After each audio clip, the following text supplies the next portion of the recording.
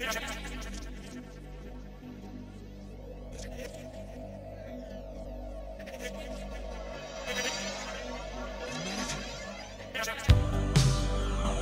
dream, one soul, one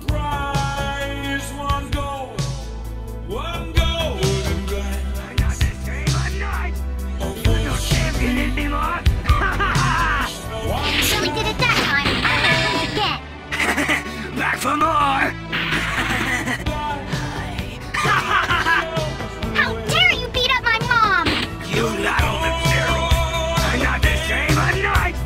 Please! I am the king. You are no match for me. Lord Babidi says you are no longer needed. You will die now. I won't be killed! I finished him. The nuisance is on his way to the other world. Well, come on!